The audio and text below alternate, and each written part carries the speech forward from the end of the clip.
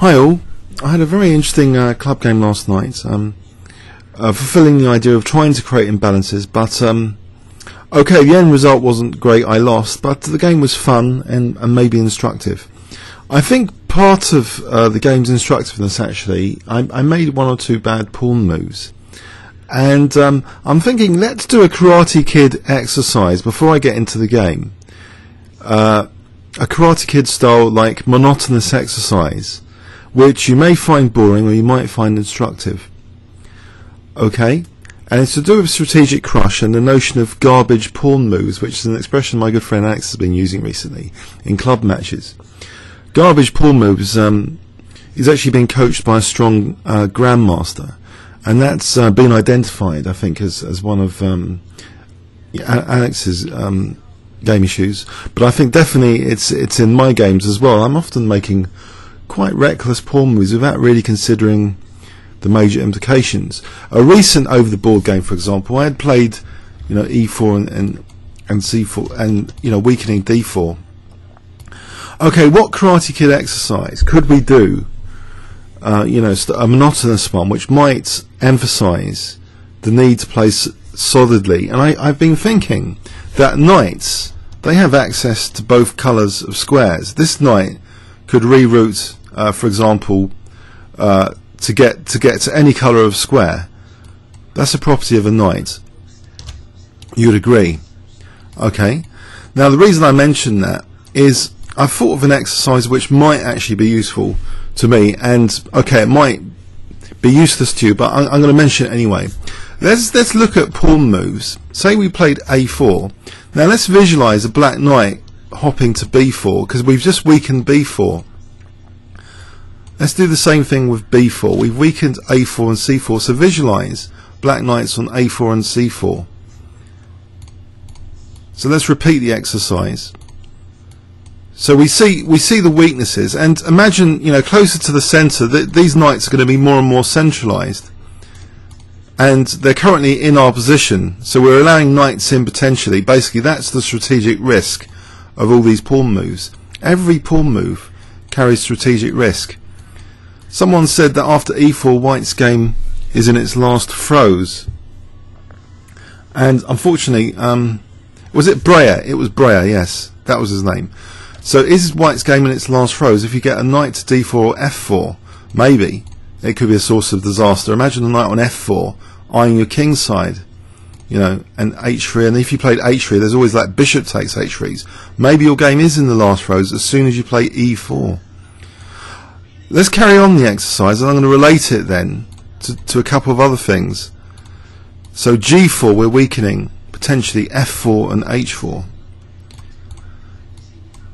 So this starting to be monotonous, I hope. So g4, we're weakening g4 for potential knight. Or a bishop, or any other piece really. But the knights can hop to any colour. They've got access to any colour of square. So actually, you know, you could be a bit creative to really just by default visualize a knight coming in. As soon as you play d4, a knight comes in to c4 or e4. Now, let's um, imagine, you know, d4 has been played.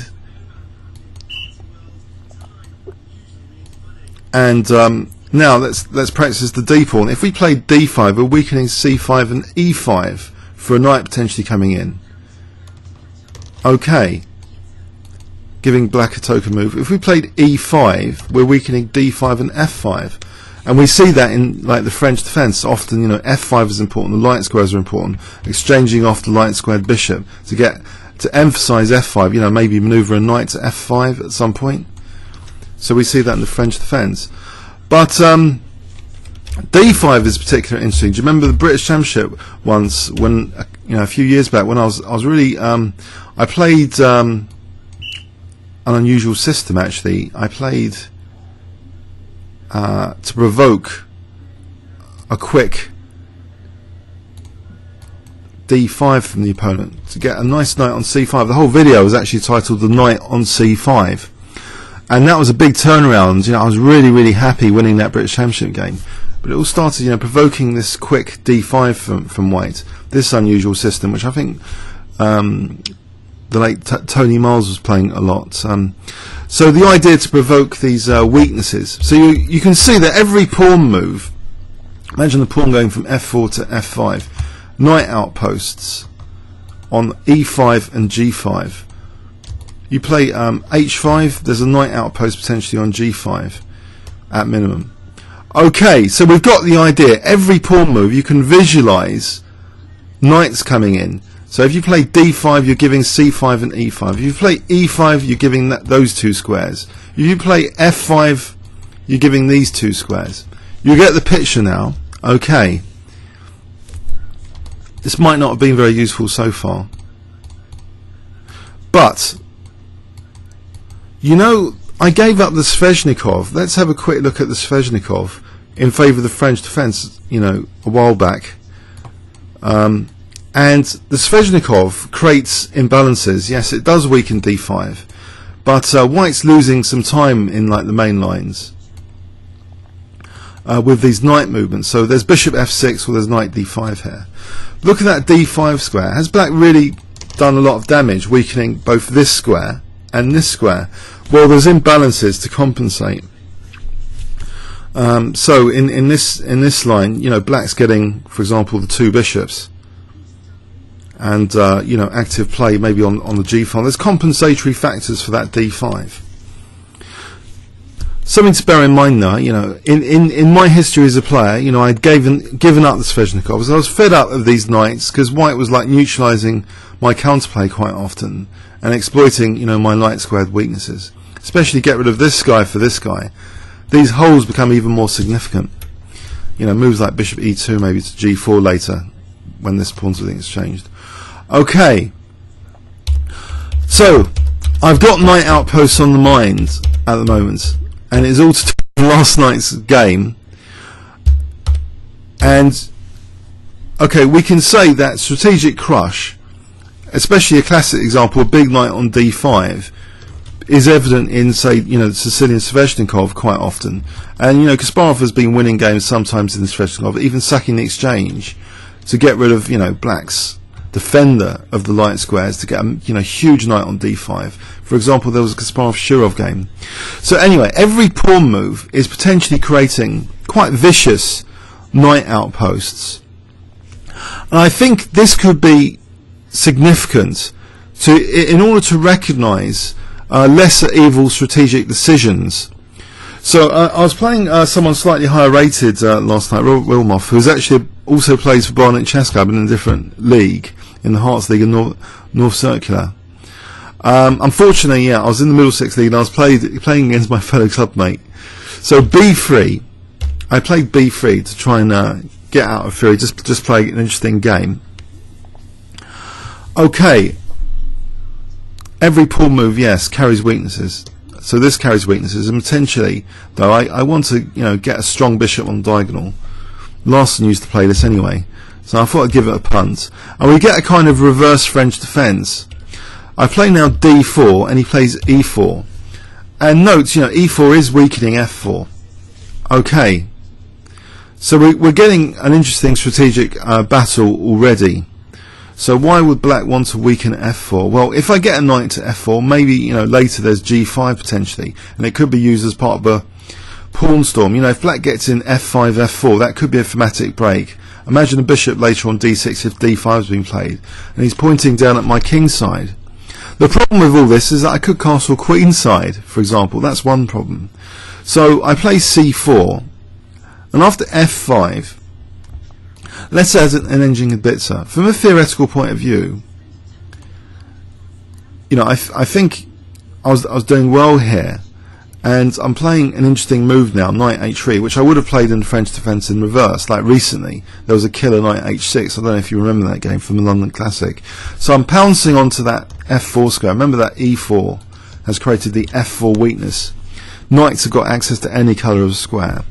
So a lovely knight on f4, and I thought I was doing well here. In fact, Rybka gives a slight advantage to white here as well and I secure the knight outpost now, but maybe this is not so hot. There was no need, uh, maybe, for this next move, but it's okay. It's it, Rybka kind of likes it anyway as well, h4. It's got some dynam dynamic potential with h5s. it's it clamps down on black playing g5. But after castles, h5 is a bit committal. Although again, Rybka likes this move. I could have just got on and tried to castle queenside. I think my major blunder comes uh, later. So h5 is interesting because I'm forcing now the bishop to go to h8. And I play this um, knight h5 now. Okay, knight h5, knight d5 is also interesting. So imagine knight e7, take, and now bishop e2, and I could get on with just casting queenside. And maybe later, even consider like f3, you know, because if ef, gf, and I can, you know, get a rook, well, it will be on d1 to g1. So a Larsen style sort of attack. That would have been nice. But no, knight, knight h5 is slightly inferior, I think. Uh, it's not as centralized. Um, but uh, even so, I think I'm, I'm still standing better here at this point in the game. But here, now we should remember our Karate Kid exercises. Okay, there's a choice of two lesser evils, which I didn't really consciously, very clearly realise during the game at all. That, okay, black has got a strategic threat to potentially give me a temporarily bad bishop with d5. So that's kind of one of the evils I face. But why would it be a lesser evil, for example, uh, well, not to play the move d5? Go back to our exercises. I played d5 here. What have I weakened? I've weakened c5 and e5.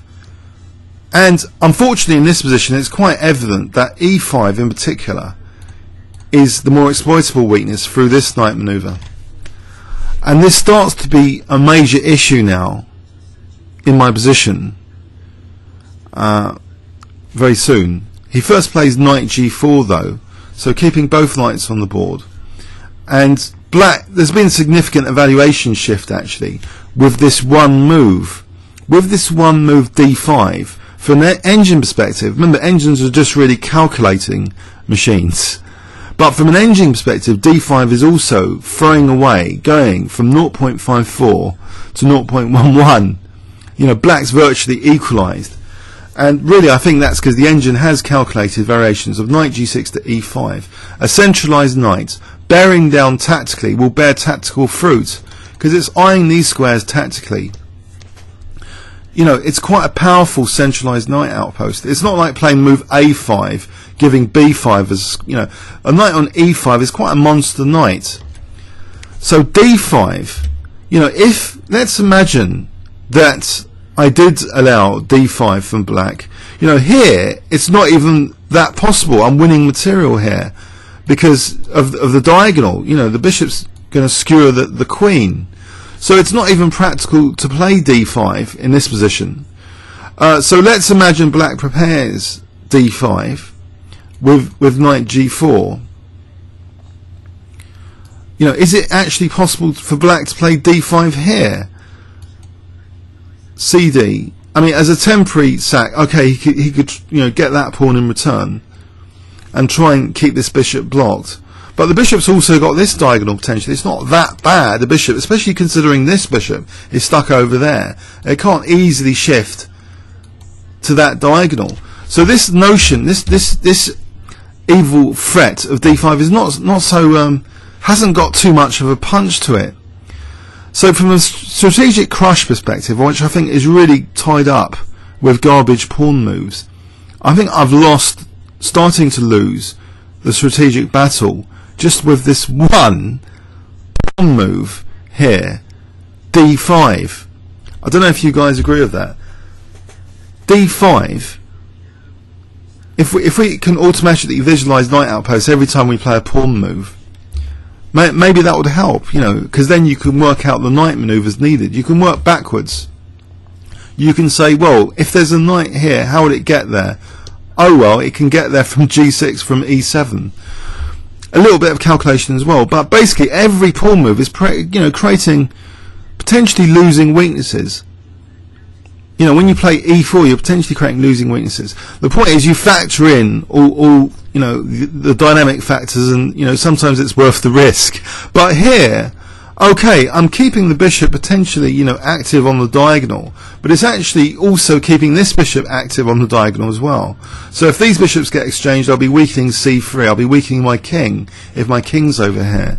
So this d5 strategic decision I think was very bad. I mean, let's also try and demonstrate black slowly building up for d5 to imprison the bishop. Because I think, if remember, there was a Petrosian Fischer game where World Championship uh, candidates match where where Fischer had blocked in Petrosian's bishop. But um, okay, so let's go for d5 here. Again, you know, an engine move here is actually d5 is actually weakening slightly the, the dark squares, potentially giving me these these outposts. But also this bishop has got access to this diagonal. In fact, bishop a3 features as a good move here. And that would be kind of undermining uh, this pawn chain indirectly if I can have the option to take on e7 and on d5. But there's other moves here. Even let's let's take this scenario with the blocked in bishop. It's got this diagonal still. So really it's not even that big a deal. In this position, Rybka kind of likes White's position. So unfortunately, um, although actually it's, it's starting to think Black's looking quite good. Maybe, maybe this this is what I was worried about that um, there is there is a downside to Black blockading D5. This bishop's made to look a bit silly, and one of the points of playing, you know, the Larsen kind of system with B3 was to have a nice dangerous bishop on the diagonal. But even so, I think there's going to be a better way of playing this. Okay. So we're giving c6 as an example. Let's let's do c6 again. d5. Let's let's follow another idea. Knight takes, bishop takes. Just play maybe as a reverse French.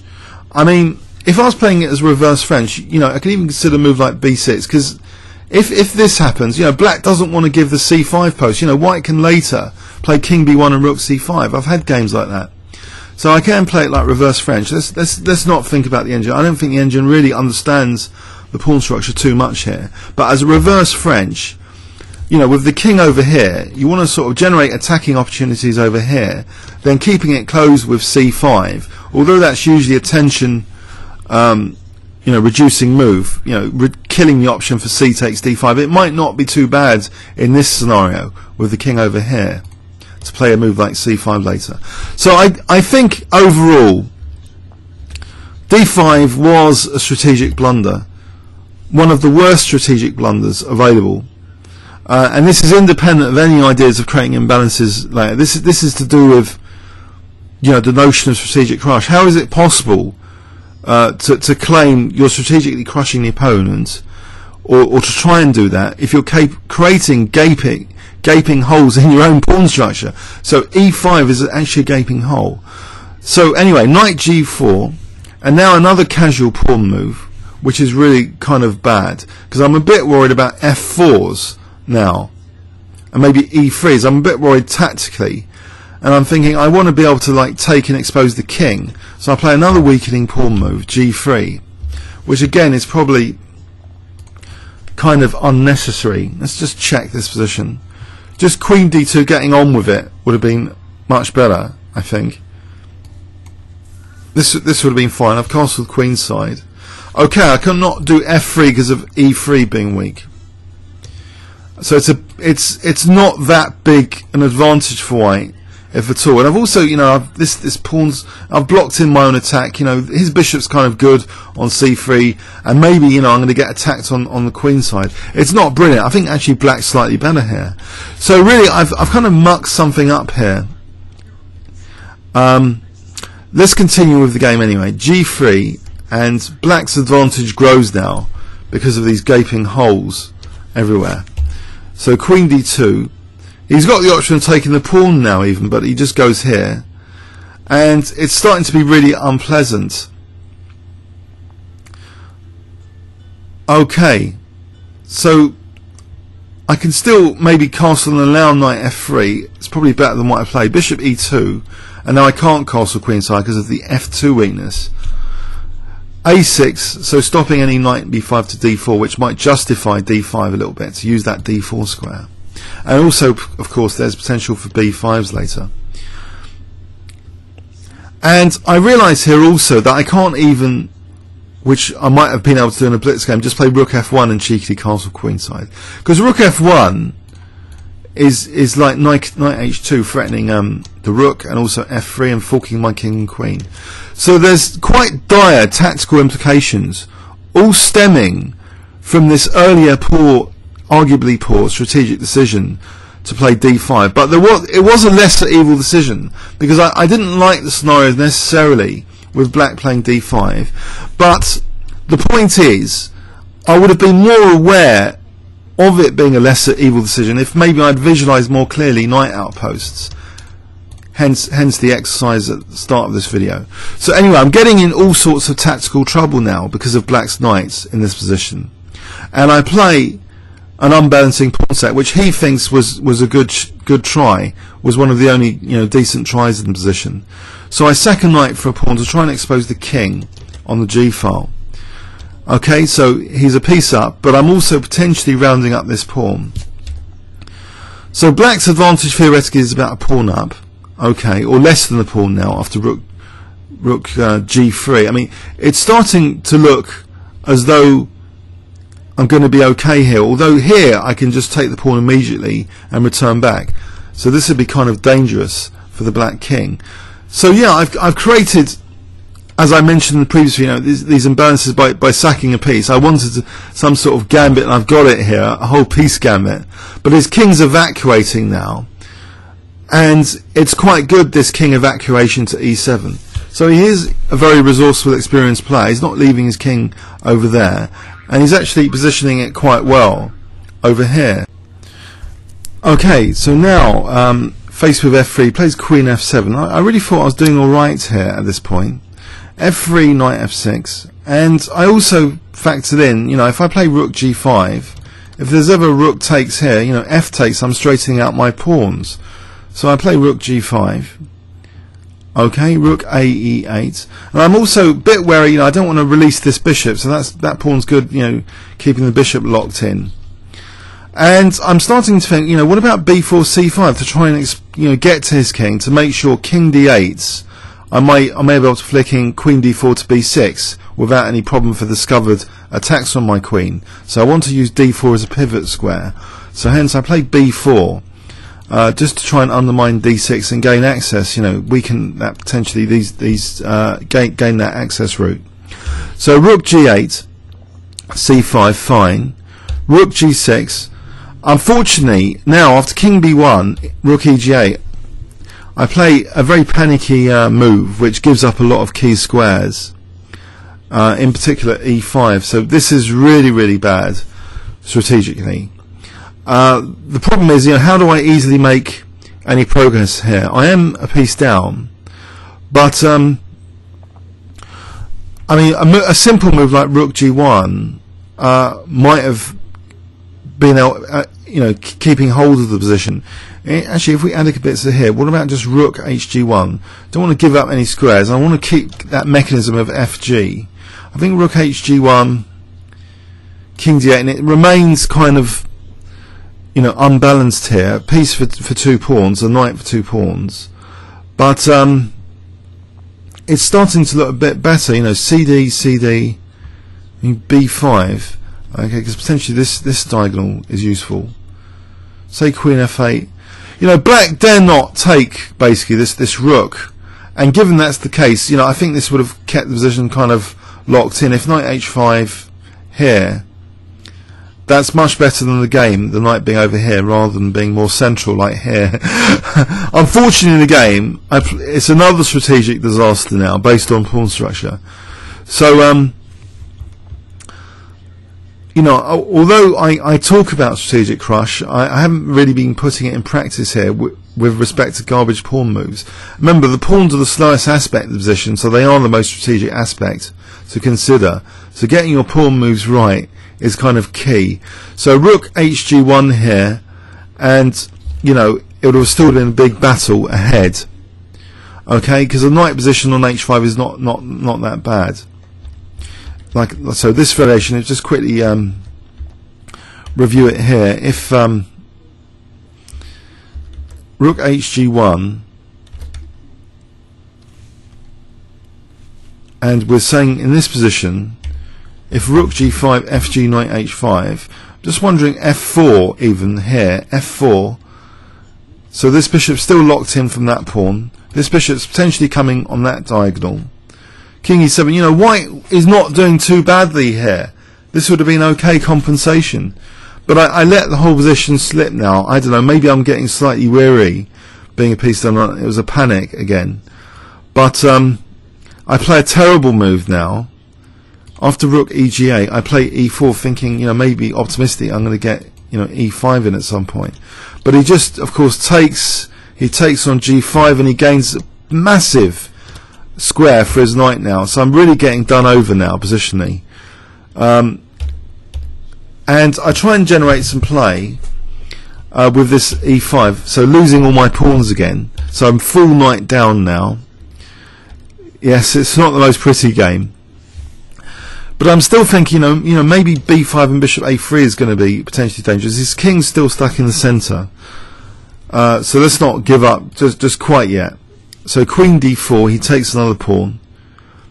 So b5, trying to get to his king, and after bishop a3, I am threatening um, a not so subtle tactic, which um, he kind of blundered with rook c8 but um, fortunately for him, it's not totally a decisive blunder, losing those two pieces for the rook, because this is still a very difficult position here. In this position, black's doing very well. There's now threats of uh, rook e8 coming down c1, queen c1's if bishop ever moves. If queen d6, you know, he just takes the queen, then he takes on c3. So this is not a good position here, unfortunately.